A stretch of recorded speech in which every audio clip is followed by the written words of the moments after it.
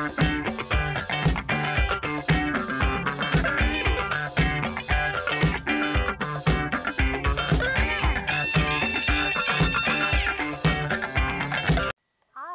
I'm Cameron, and well, this is Scarlet.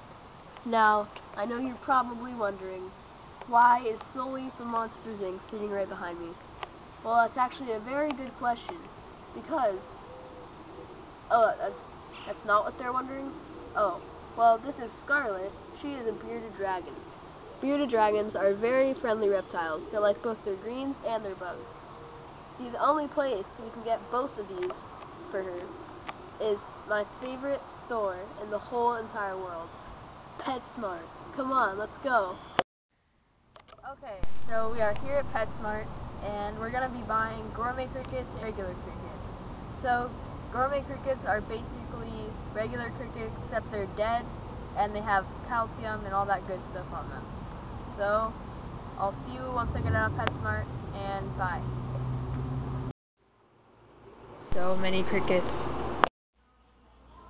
Oh my gosh. So many bearded dragons.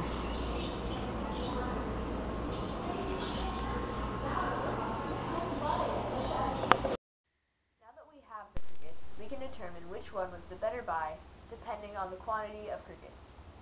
So I counted the gourmet crickets from the can, and there are about 20 in there. Each can of gourmet crickets equals $5, so that means that each gourmet cricket is 25 cents.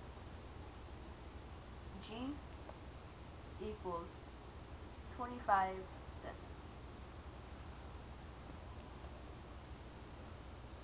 Now, the regular crickets, the ones we get, are 13 cents, or the smaller ones, which are 10 cents. So, R equals 13 cents. So obviously, the regular crickets are the better buy, but that's just boring math. So we got 60 regular crickets. So 60, 60 times 0.13 equals $7.80.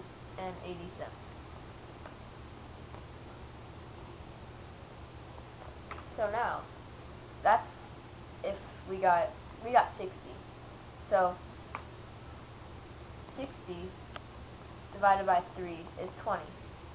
So if we were to divide 7.80 divided by 3, $7.80 divided by 3, that would equal 2.60 cents. So now, we can double that. So, the gourmet crickets equals $5 a can. So, if we multiply $2.60 times 2, that equals $5.20. Barely above the amount of one can of 20 crickets of gourmet crickets. Therefore, the gourmet crickets, they're good, but kind of a ripoff because when you think about it, you could get 20 more regular crickets for the price that you could get half of that. So that's what I found from this. Now we can see if Scarlet likes her dinner.